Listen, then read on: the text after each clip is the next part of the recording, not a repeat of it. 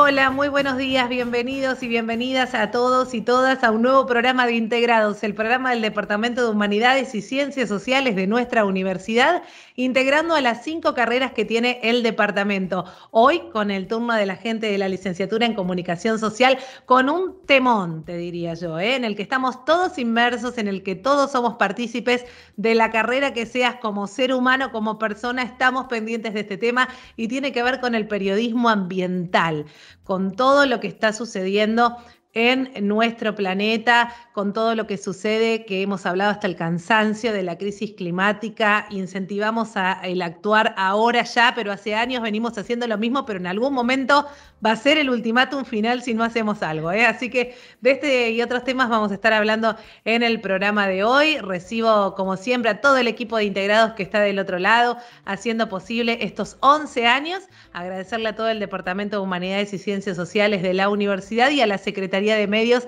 que nos permite estar domingo a domingo con ustedes hasta las 10 de la mañana. En el aire de la RU, www.fm891.com.ar, allí pones play y en cualquier parte del mundo donde estés te conectás. Y si no, después nos buscas en nuestro canal de YouTube como Conversaciones Integradas UNLAM y allí nos podés consumir on demand, como a mí me gusta decir, cuando tengas ganas, cuando tengas tiempo y las veces que quieras. Este es el programa de hoy y todo el ciclo que nos acompaña en el 2021 y en el 2020 también.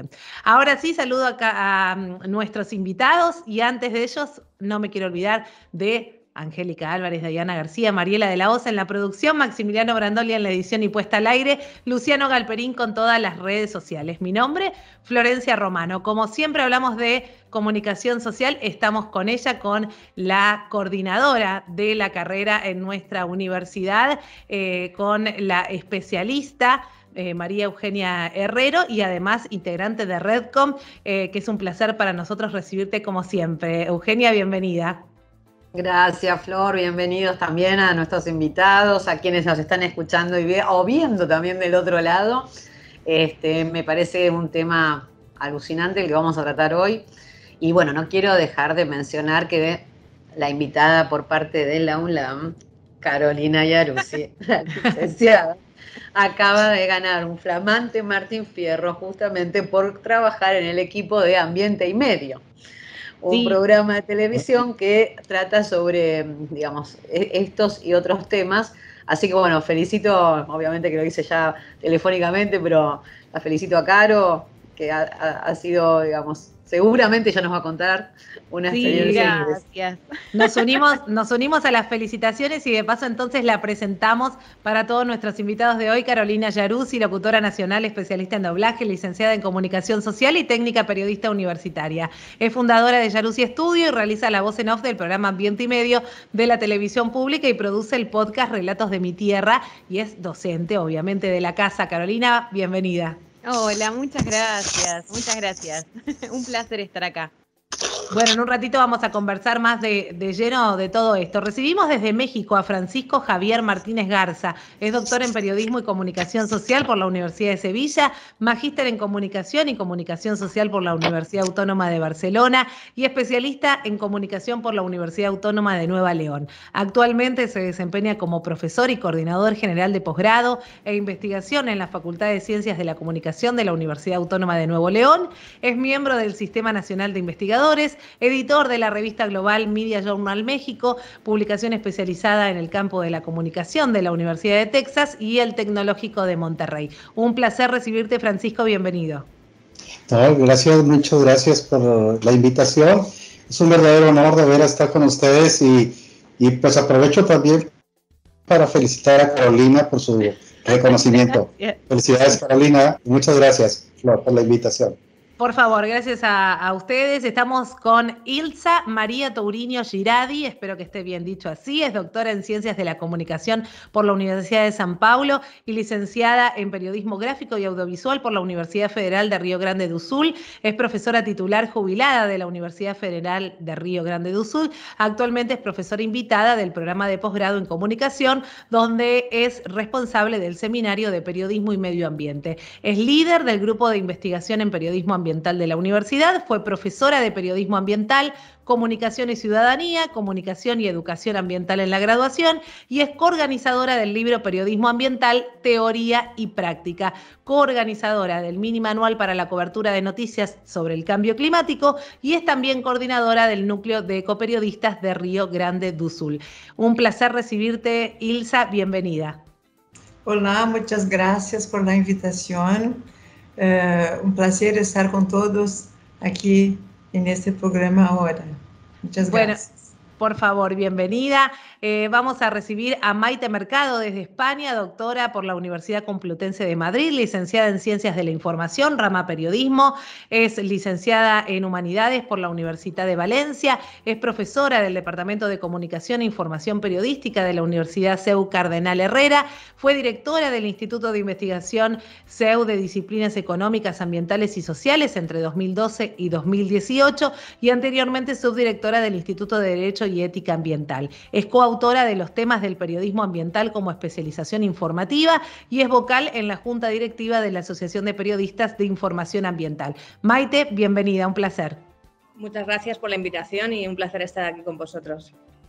Bueno, y estamos, eh, ella es de Ecuador, pero está en Roma. Recibimos a Vanessa Karina Duque Rengel, es doctoranda en Comunicación e Información Contemporánea de la Universidad Santiago de Compostela, es especialista en liderazgo, cambio climático y ciudades de la Facultad Latinoamericana de Ciencias Sociales, Flaxo, es magíster en Dirección de Comunicación Empresarial e Institucional por la Universidad de las Américas, certificado superior en Gestión del Talento Humano por la Universidad Técnica Particular de Loja. Y licenciada en Ciencias de la Comunicación por la Universidad Nacional de Loja también. Se ha desempeñado como docente de la misma universidad, de la Universidad Técnica Particular de Loja y el Instituto Tecnológico Sudamericano. Posee más de ocho años de experiencia en educación superior, en comunicación social, relaciones públicas, asistencia gerencial y relaciones públicas y diseño gráfico y cuenta con más de diez años de experiencia como comunicadora corporativa, consultora y periodista radial. Es autora de numerosos artículos sobre medio ambiente, cambio climático, desarrollo sostenible y medios de comunicación y es un placer para nosotros, Vanessa, recibirte. Bienvenida.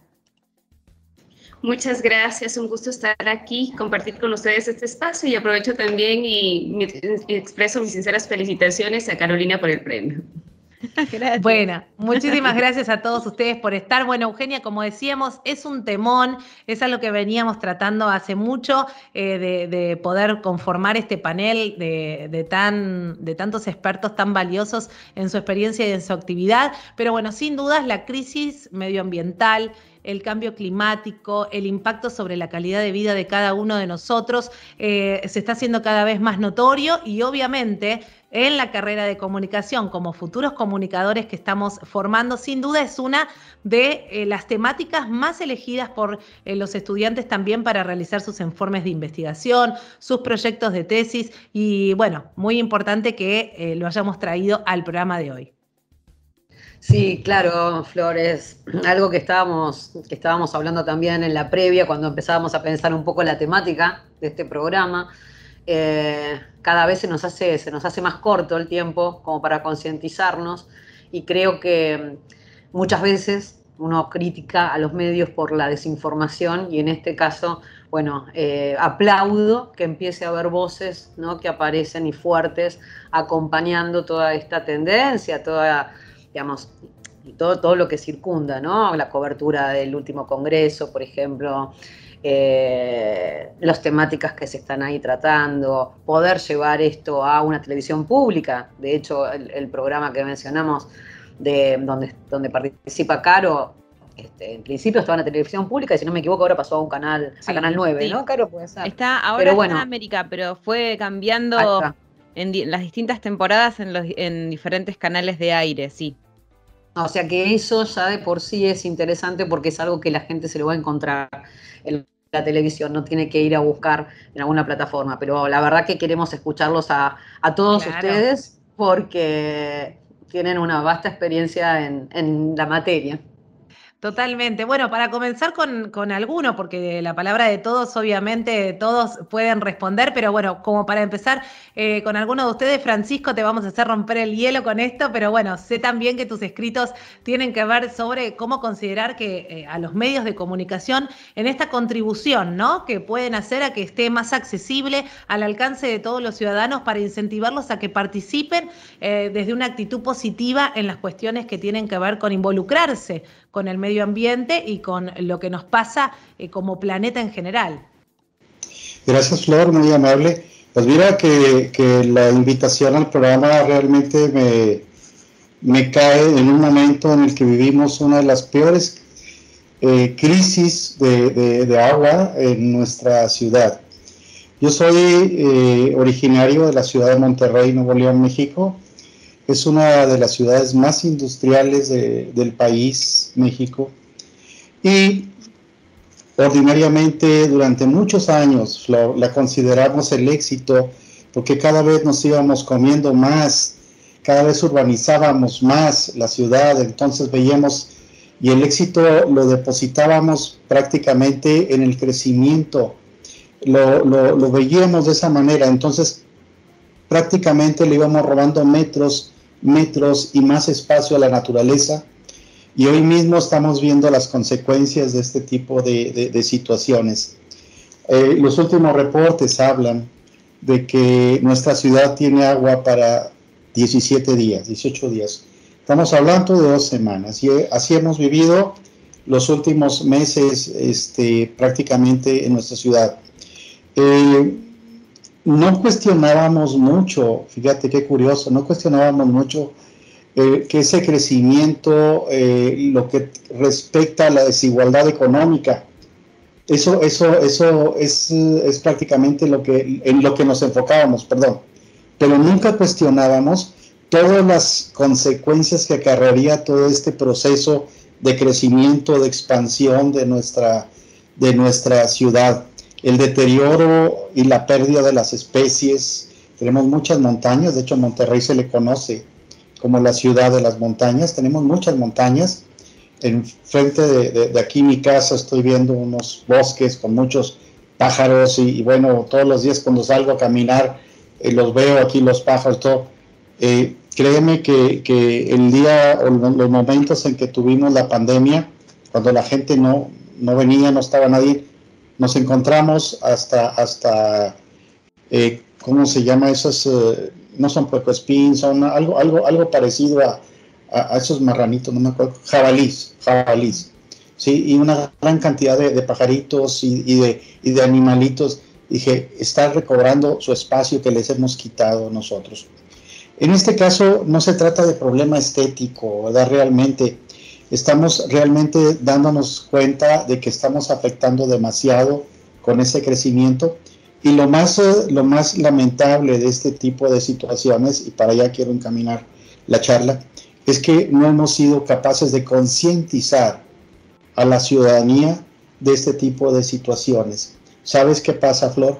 Que los medios de comunicación no ponen atención a, este, a esta situación que pasa en nuestra ciudad, porque solamente se cubre la información de las eh, cuestiones ambientales cuando la noticia despierta al, ese, aspecto de la espectacularidad, que se están quemando los bosques, que hay inundaciones, que hay huracanes, que hay, ahí sí se cubre, pero en adelante no tenemos información de ello. Entonces, te repito, creo que, que nos hemos dejado llevar por ese tipo de, de situaciones y condiciones de la economía nada más, relacionadas con la economía, el crecimiento, la, la, gran urbe, los grandes espacios, los grandes departamentos, los edificios, eh, las chimeneas, pero nos olvidamos de lo más importante y que finalmente nos comienza a pasar una factura mucho, muy cara. Claro, totalmente. Esto que decís, ¿no? de, que queda agua para, muy poco tiempo, ¿no? Eh, siempre a veces sucede en otras partes también de nuestro país, ¿no? Que muchas veces no se cubre o se cubre lo que pasa en las grandes ciudades, eh, o esto que, que decías vos, ¿no? Hasta que no está el conflicto, ya que no hay más para hacer, eh, cuánto se tarda en abordar desde los medios, ¿no? Muchas veces, y no solo desde los medios, sino también nosotros como personas, ¿no? El mirar para otro lado, mientras no me pase, mientras no me toque, bueno, sí, todo el mundo habla del cambio climático, de lo que hay que hacer, pero todavía no llegó, ¿no? Como que siempre estamos diciendo para el futuro, esto es dentro de 200 años, 300, y vamos achicando, ¿no? Lo que en un momento empezamos a hablar dentro de 200 años ya va llegando 50, 20, 30 y ya está próximo, en algún momento va a llegar. Me parece que todavía hay un poco de descreimiento, ¿no?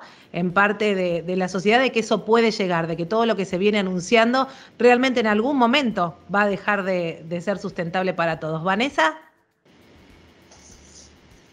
Muchas gracias, Lorenz. Sí, yo quería aportar justamente a lo que decía Francisco y creo que es importante contextualizar, ¿no? Eh, las ciudades sostenibles se forman solo a través de una serie de procesos en los que intervienen una serie de actores estratégicos y justamente en el marco del cambio climático, que es el tema que nos aqueja principalmente ahora y que es el mayor reto al que se enfrenta la humanidad, pero que no queremos afrontar, ¿no? Eh, el cambio climático, partamos de, lo que es, ¿no? Que es, una, em, atribuido directamente a las actividades humanas, ¿no? Somos los culpables de alguna manera, este, justamente hemos alterado la composición atmosférica y la variabilidad climática, ¿no? Por diversas causas. Sin embargo, es muy importante lo que decía eh, Francisco referente a las ciudades. Y ahí es importante tomar en cuenta que las ciudades son las principales contribuyentes de gases de efecto invernadero se constituyen tan solo en el 2% del territorio del planeta, pero son las que más contaminan y las que más energía consumen. Pero no estamos claros con eso, la gente no conoce esta realidad.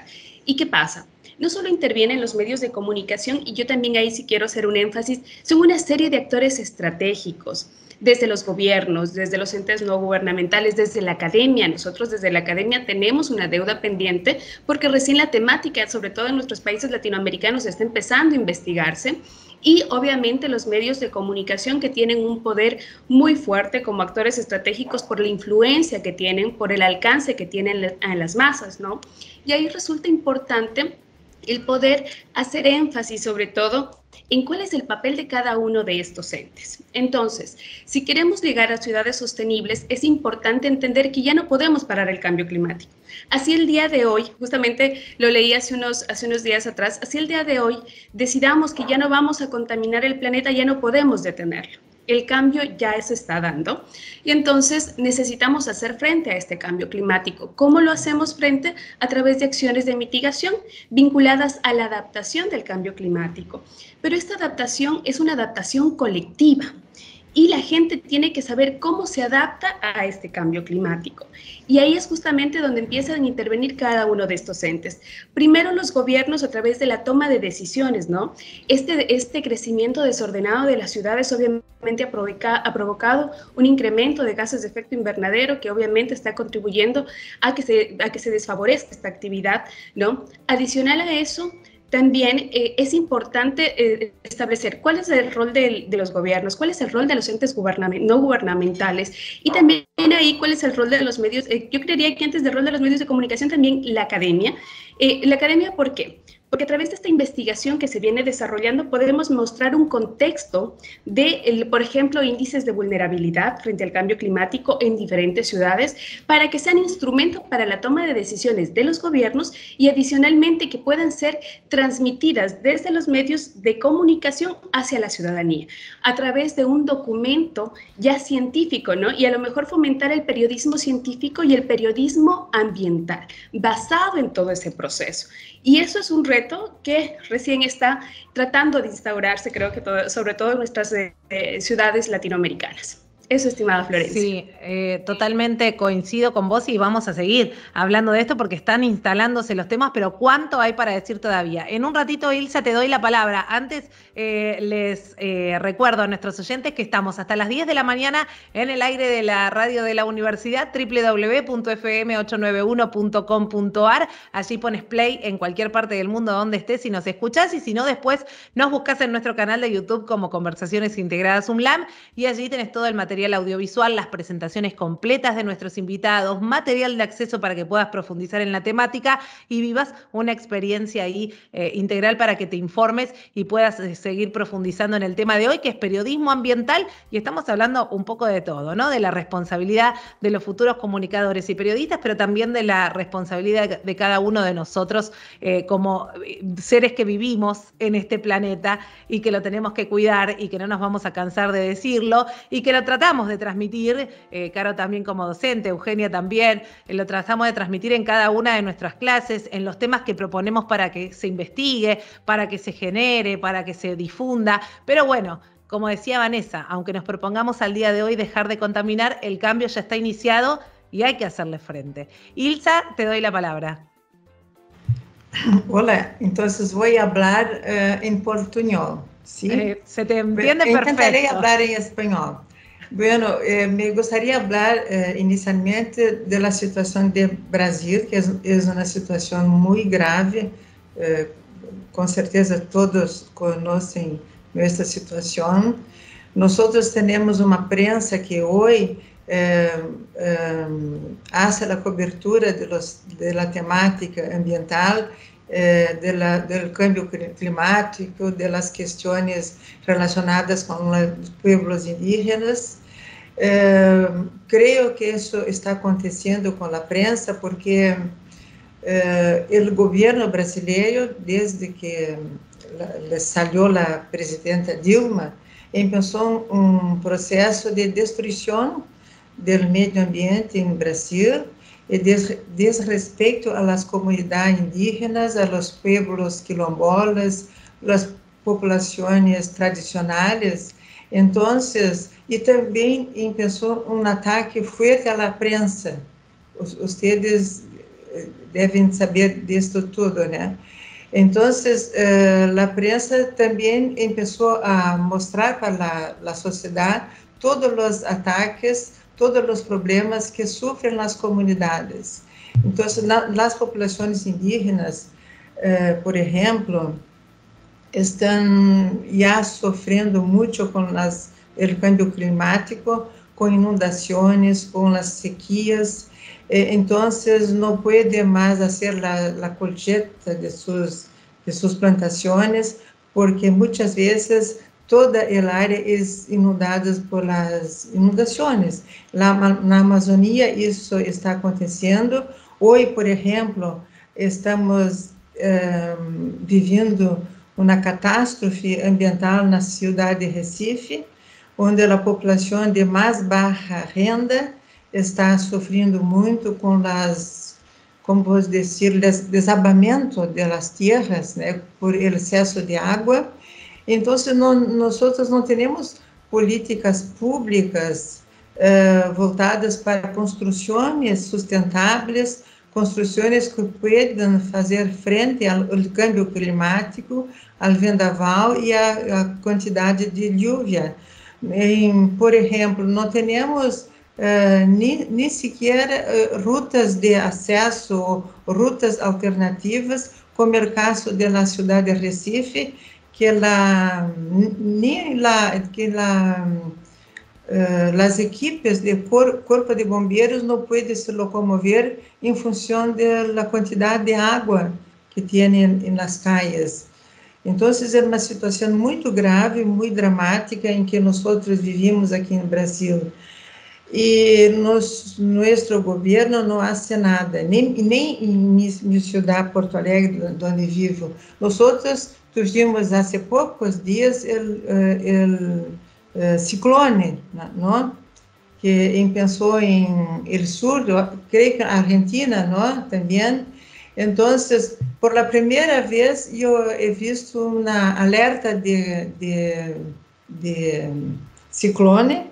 Então, a cidade se preparou para abrigar os, os moradores de la calle las, las personas que viven en situación de calle, de rua, eh, pero si no, no, no, tenemos nada por aquí. Entonces, pero entonces, la prensa, que me gustaría hablar sobre eso, tiene hecho un trabajo muy importante eh, de crítica à, à, à falta de, de, planejamento de como digo en español? Uh, sí, de, de, políticas públicas. Políticas de, públicas sí, de planificación. a esas cuestiones. Entonces, la prensa es muy combatida por el gobierno, así como los pueblos indígenas también y los pueblos quilombolas, que son justamente las personas que viven en los, en los sitios donde hay más preservación del medio ambiente. Nosotros teníamos que aprender muchos con las comunidades indígenas que viven en forma de, deciden todo de forma coletiva, eh, pensando, perdón, pensando en la coletividad. Eh, nosotros tenemos que aprender con ellos a vivir uh, como seres da natureza, como eles conseguem viver muito bem. Os indígenas estão mais preparados para participar de, de, de reuniões uh, sobre câmbio climático do que nós outros. Pero quando os indígenas uh, participam das reuniões promovidas para discutir essas, essas questões, eles não participam das reuniões onde estão as pessoas que vão realmente tomar as decisões, que são pessoas do governo. Perdão, porque tenho dois. Sim. Sim. Não há problema. Sim, não há problema. Pero... Eh, os indígenas não participam dessas reuniões que vão tomar as decisões, se quedam sempre afuera de todo como as mulheres, como os quilombolas, como os jovens. Então, todo isso tem que cambiar para que nós nosotros podemos cambiar o mundo, o planeta. Bien, eh, muy, muy interesante lo que decís, Ilsa, y en base a eso también eh, quiero darle la palabra a Maite.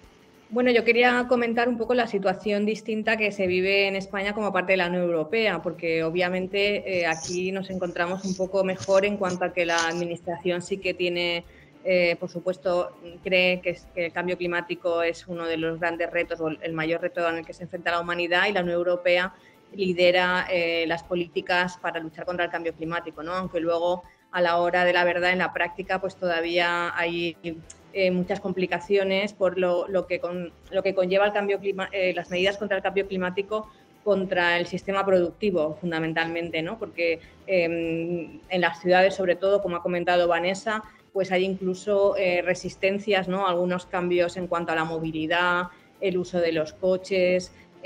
aquí en, mi ciudad, por ejemplo, que es Valencia, que es una de las candidatas a en ciudades climáticamente neutras, o sea que realmente se están haciendo políticas eh, para que haya menos tráfico, para peatonalización de, zonas, etcétera. Y sin embargo, también hay muchos vecinos en contra, ¿no? Porque es difícil asumir ¿no? Eh, cosas que nos pueden afectar a todos eh, por el bien común. ¿no? Entonces, eso yo creo que sí que los medios tienen mucho, bueno, responsabilidad ¿no? en informar eh, no solamente mm, de, las cosas negativas que nos pueden pasar eh, conforme avance los, bueno, el cambio climático, que ya lo estamos viendo, sino también con el periodismo de soluciones, ¿no? Un poco también explicar qué de bueno tienen las cosas para todos, porque así quizás se logre que más gente se involucre ¿no? en las cosas que hay que hacer, aunque desde luego yo creo que comparado, por ejemplo, con la situación en Brasil que estaba comentando Elsa, claro, la administración tiene mucho que hacer, ¿no? O sea, por mucho que el periodismo haga o por mucho que algunos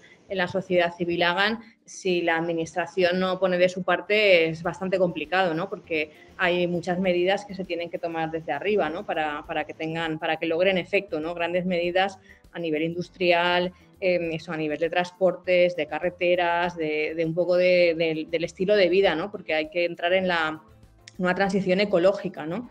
que afecta sobre todo desde el punto de vista al sistema energético, por ejemplo, que ahora en Europa estamos viendo eh, con la crisis, con la guerra en Ucrania, el, lío en el que está todo, toda Europa eh, porque están, dependen de los combustibles fósiles de, Rusia y llevamos años y años diciendo que eso no puede ser, que hay que fomentar las renovables, etcétera, pero mm, todavía ha tenido que llegar la guerra para ver si ahora realmente se fomenta todo eso, ¿no? O sea, porque eh, estamos en, bueno, Alemania, por ejemplo, pues está en peligro de, que no va a tener este invierno em, combustibles para las calefacciones, ¿no? Entonces, cuando llega a ese punto, entonces igual se hace algo, ¿no? Entonces el, periodismo tiene que estar ahí y yo creo que mm, es importante que se introduzca una mirada ambiental, pero en todo, o sea, que no haya solamente algún reportaje eh, de temas ambientales, sino que eh, cale un poco en todas las secciones y, por ejemplo, en la sección de economía, pues se, tenga en cuenta si hay que ampliar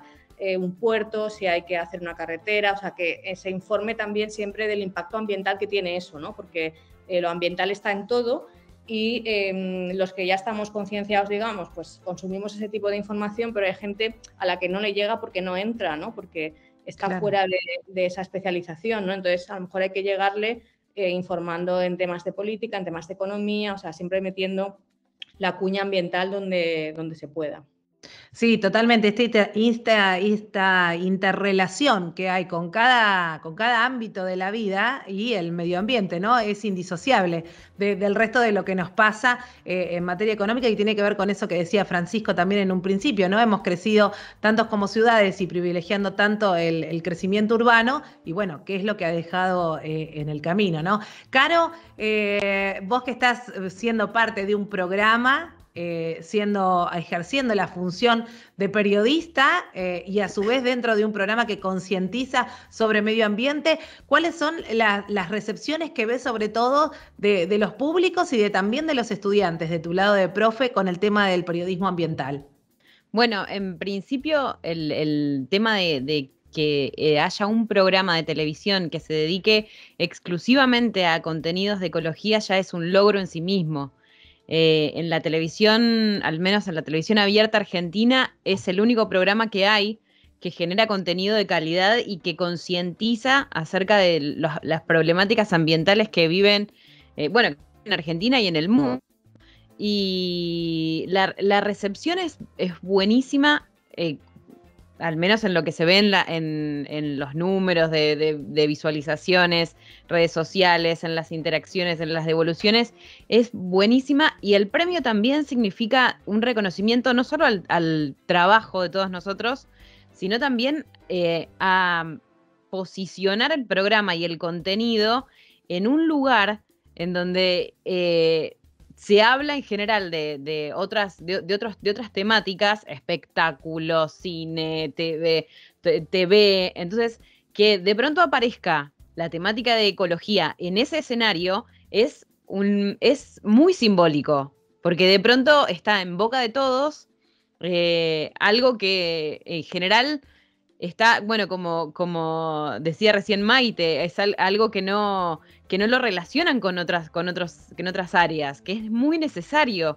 que esto empiece a ocurrir. Entonces, este premio, más que, bueno, uno lo, uno lo celebra y digo, ah, qué, genial, pero eh, es mucho más pesado en, ese, eh, en ese sentido, en el sentido de acercar la ecología y todo, y todo ese contenido a un público muchísimo más masivo, porque imagínense que ese, ese, eh, esa premiación la ve el país entero. Entonces tener esos minutos, esos instantes de decir gracias y no se olviden. claro, eso es este, es, eh, es muy genial. Totalmente. Y, y, por otro lado, digo, la gente también está empezando a escuchar a sus, a sus hijos. Eh, que ellos son los que traen a casa los buenos hábitos de, ecología y de cuidado del, buen, del, ambiente. Totalmente. El buen, manejo de la basura, eh, el, este, el, cuidado del agua, eh, el cuidado del suelo. Y son ellos los que empiezan a traer a casa esos buenos hábitos. Acá, en, bueno, en nuestro país, una de, los de las principales problemáticas son los basurales a cielo abierto. Y el hábito de la separación de la basura es dificilísimo. El argentino es tosudo, no quiere separar la basura.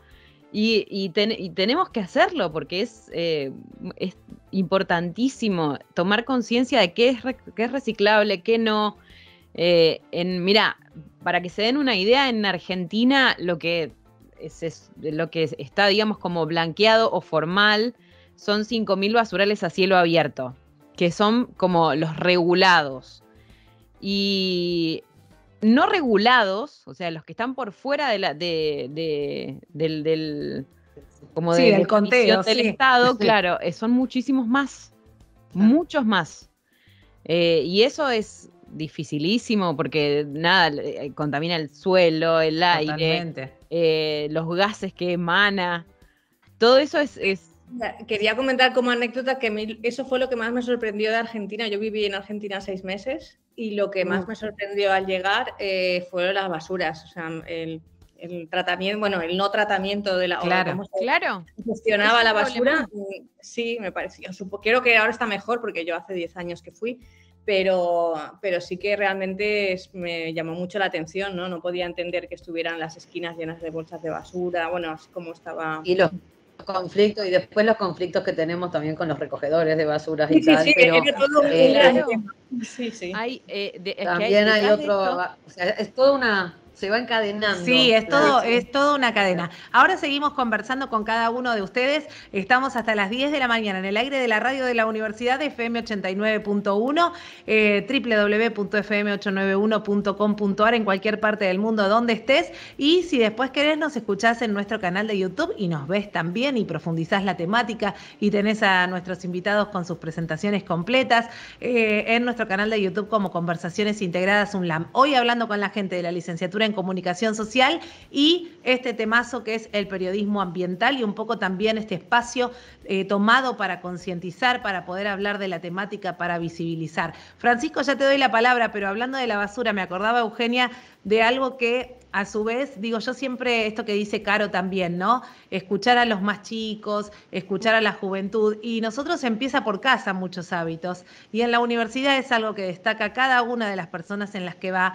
en la que vos no encontrás un papel en el suelo. Eh, si te vas del aula apagan la luz. Eh, en los baños no se derrocha agua. Están plantadas plantas en los canteros que se conservan, que se cuidan. Entonces digo, ese pequeño ejemplo cada uno haciendo lo que tiene que hacer en el lugar en el que habita habitualmente, por trabajo o por estudio, es la semilla, ¿no? Por donde empezar.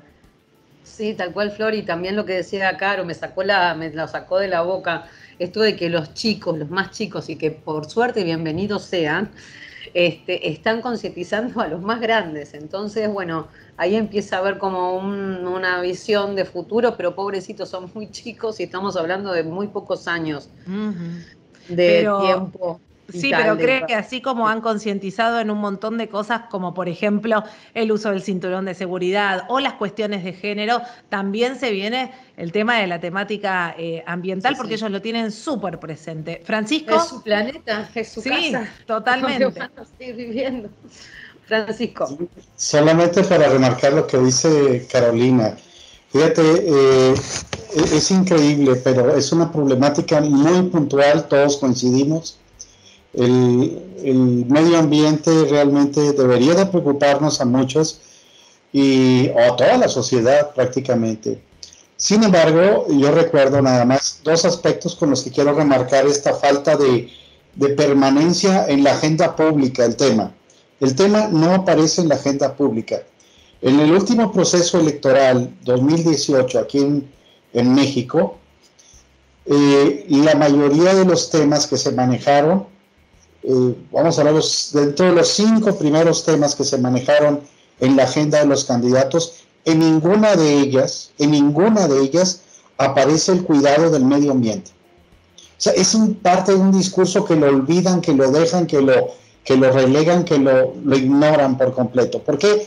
Porque no es atractivo. O sea, entonces, para mí, ver los debates de la presidencia de la, hacia la presidencia de la República y darte cuenta que no aparece en, la agenda el medio ambiente, ni siquiera el coordinador del, debate les cuestiona sobre el tema. Entonces, ahí nos damos cuenta de la dimensión en dónde lo tenemos ahí prácticamente. Segundo punto. Una encuesta que realizó la, la Universidad Nacional Autónoma de México la UNAM, que es la, la, universidad más grande del país, eh, eh, concluye, ¿verdad? O concluyó, esto estoy hablando de hace dos o tres años de esta encuesta, que la gente no conoce la problemática del medio ambiente. A lo más que hablan es de la contaminación del aire, porque, porque este, existe aquí eh, los automóviles que están emitiendo gases y hasta ahí llega su conocimiento, nada más. Pero este aspecto que decía Carolina, por ejemplo, de separar la basura, cuando les preguntan que si la separan, no la separan.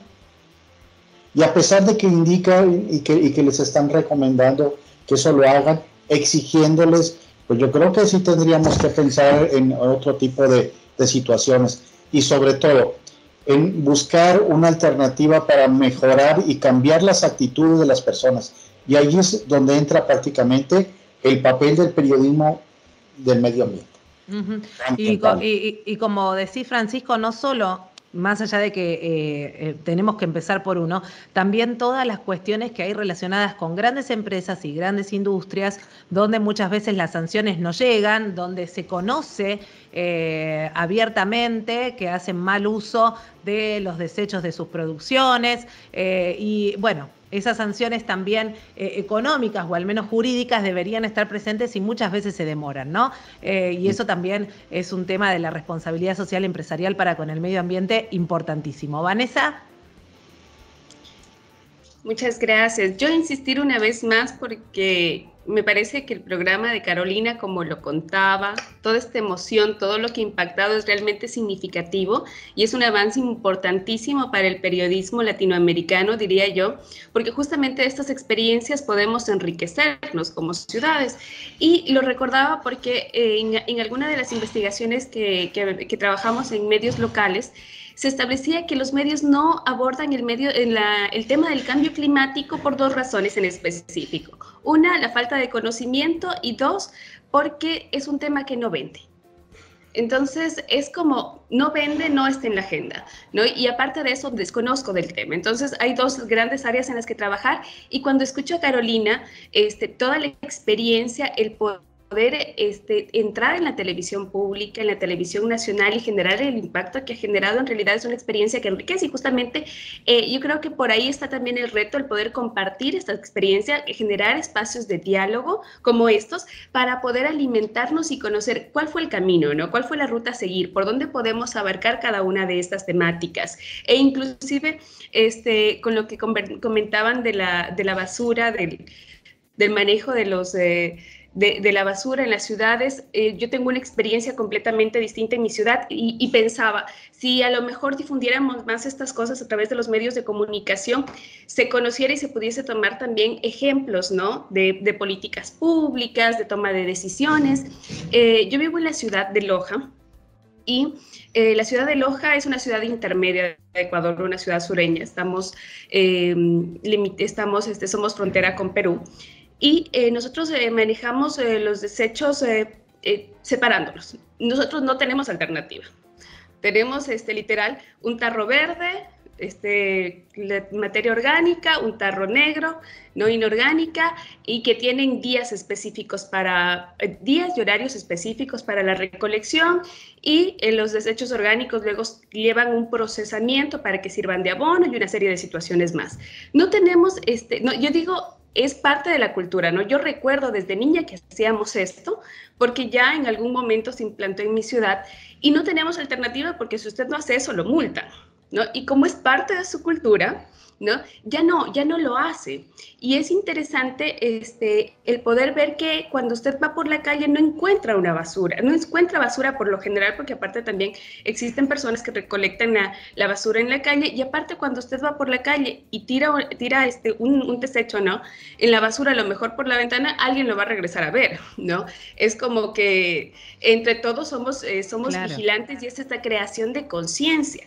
Pero esta creación de conciencia es todo un proceso, el, poder empoderarnos de la temática, el generar esta cultura y ahí también obviamente lo que decía Francisco, los medios de comunicación tienen un papel importantísimo, no solo en la concienciación, diría yo, sino también en la educación, ¿no? En lo que decía justamente... Em, eh, otra de las panelistas que en cuanto no solo la, bueno, decíamos, no solo la formación, no solo la concientización, sino también el empoderamiento de cada una de estas temáticas, el profundizar, el no tomarlo como un tema de coyuntura, sino poder establecer el porqué de estas situaciones y entre todos los ámbitos, que sea algo multidisciplinar que permita construir una, un conocimiento vasto de la temática para que seamos más conscientes en nuestro día a día como ciudadanos comunes. Totalmente. Eh, Ilsa, te doy la palabra y aprovechando que, empiezo con vos, en los minutos finales para cada uno para que pueda ir dejando eh, en limpio lo que quiera decir del programa de hoy. Bueno, Vanessa, aquí en mi ciudad es mm, parecido con tuya. Eh, nosotros tenemos la coleta selectiva de basura orgânica e basura limpa. Uh, e também há uh, coleta de um, outros materiais, como materiais eletrônicos, uhum. lâmpadas, não me, não, não me lembro não me, como se diz em espanhol, lâmpada. Sim, sim, sim. Eh, todo desecho eletrônico, lámpara, pilas, sí. lámparas, sim. Pilha, todos esses materiais são, são, uh, são colhetas à parte que nós devemos levar em, em nossa faculdade, por exemplo, ou então no supermercado, em locais que recebem esse tipo de material. Pero me gostaria de falar sobre a questão da educação. Pero sí, o periodismo sido uma função educativa muito importante e também a própria educação nas escolas. Nós eh, já tivemos aqui em Brasil ah, espero estar dando correto o verbo, eh, projetos de educação ambiental para as escolas. Isso não, não existe mais. Eram projetos eh, coordenados pelo governo federal, pelo Ministério da Educação e, tam, e também pelo Ministério do Meio Ambiente. E, bueno, esse era um trabalho muito, import muito importante, porque em, em todas as, as escolas, um, haviam projetos de educação ambiental. E eu trabalhei em algum, uh, alguns deles como professora, ou então como para uh, oficinas. Bueno, pero me gostaria de falar sobre o periodismo ambiental na universidade. A primeira assinatura de periodismo ambiental no Brasil foi em minha universidade, e eu que uh, propus a criação, foi em 2003.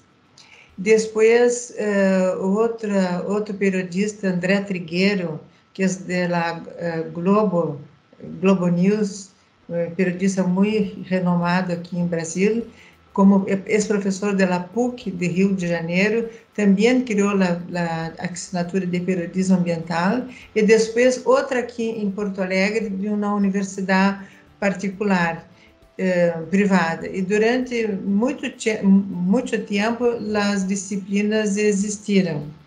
Em minha universidade, quando ocorreu a alteração do currículo do curso de periodismo, me gostaria muito que a, assinatura passasse a ser uma assinatura obriga, obrigatória, mas meus colegas não compreenderam assim não compreenderam da centralidade da discussão de meio ambiente na formação dos futuros periodistas. Então, a assinatura está existe todavia, há muito interesse por parte dos estudantes, pero uh, a imprensa local é diferente da prensa nacional, como periódico como Estado de São Paulo, Globo, Folha de São Paulo, a prensa local não, não hace uma cobertura muito bem, muito bem feita sobre o meio ambiente. Então, creio que há que, que cambiar também a mentalidade dos professores de los cursos de periodismo para compreender que a formação em periodismo ambiental é importante. Não, não que periodismo ambiental seja uma coisa separada de, las, de todas as outras, como disse. Um, sí, lo que decía Maite. Uh, sí, es, pero nosotros tenemos que aprender em uma assinatura que há que ampliar o olhar, fazer as relações entre todos os temas. E isso se faz na, em periodismo ambiental né, conectar com as questões da biodiversidade, da questão da distribuição de renda, do racismo ambiental, que é uma coisa muito grave, sim, porque são as populações mais vulneráveis, que são as que vão ter mais problemas com o cambio climático, por exemplo.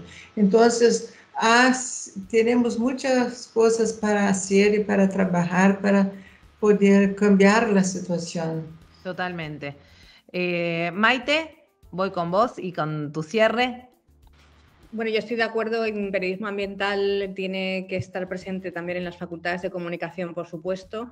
Eh, yo también tenía la asignatura, bueno, cuando estaba en el plan de estudios que teníamos licenciatura de cinco años, luego se pasaron a los grados por el proceso de Bolonia y entonces ya no hay, no hay espacio para las especialistas, pero eh, como habéis comentado, pues hay que intentar introducir el, tratamiento de información ambiental pues en otras asignaturas, en periodismo especializado, en fundamentos de periodismo, en redacción, o sea que, que, los, que los, estudiantes de, periodismo en este caso no siempre se les ofrezcan temas de política o de deportes o tal, sino que realmente eh, integren estos temas de actualidad desde siempre, ¿no? Para que, como decía Francisco, sean temas que siempre están en la agenda, ¿no?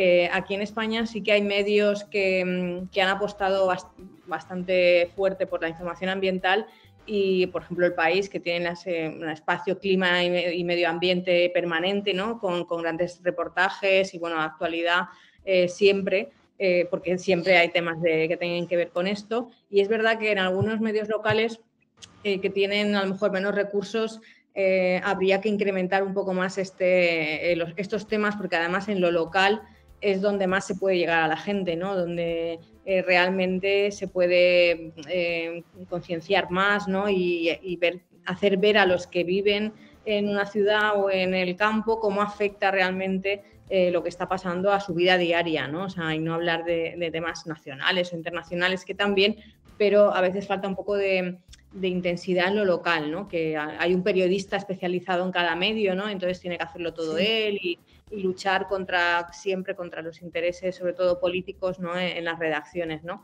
Pero yo creo que lo positivo es que los jóvenes pues sí que cada vez están más interesados en, en, este asunto, porque eso lo han vivido desde pequeños en la escuela, se han tratado estos temas de reciclaje, eh, que, bueno, temas que antes pues vamos, no sabíamos ni lo que eran, entonces ellos eh, lo han vivido desde pequeños y de hecho ahora cuando, son más eh, adolescentes o veinteañeros son los que más se movilizan ¿no? y los que más exigen em, que, que, se traten estos temas porque no les gusta cómo les va a quedar el planeta. ¿no? Entonces, Em, están, yo creo que es una, una, buena señal, ¿no? Que sean ellos y quizás si cuando vayan a votar, ¿no? Yo siempre confío en que las nuevas generaciones pues consigan que no salga, pues que no gane el Bolsonaro en Brasil, por ejemplo, ¿no? O sea, que bueno, que, que la gente más informada sobre estos temas pues pueda tener, eh, tomar decisiones como esa que sí que afectan a todos, ¿no? A países enteros, ¿no? Gracias, Maite. Carolina, tus conclusiones. Bueno, yo también adhiero a lo que vienen exponiendo, que es un placer enorme escucharlos y compartir esta charla con ustedes. Em, y sí, creo que, la reflexión va por, por, primero nosotros como docentes, acercarles estos, estas temáticas a los estudiantes eh, y, incentivarlos a que sigan explorando y que sigan incorporando buenos hábitos de cuidado del medio ambiente.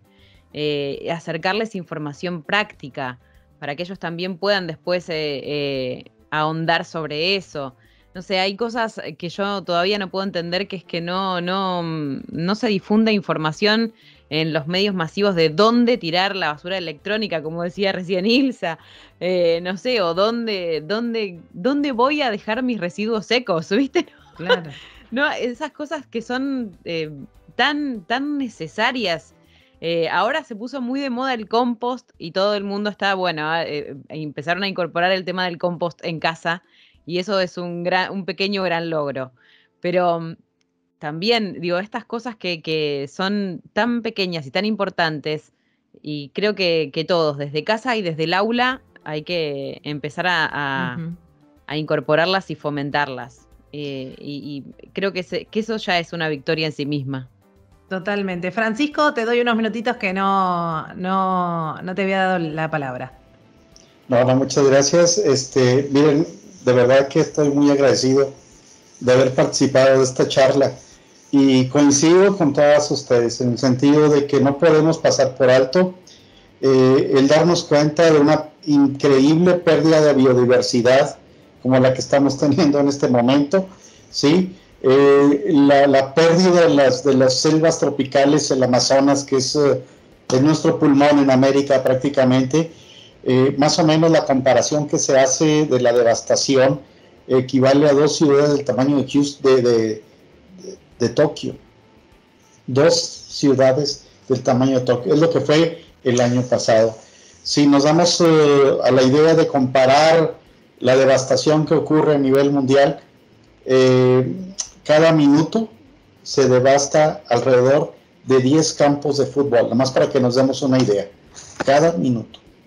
Estamos destruyéndonos.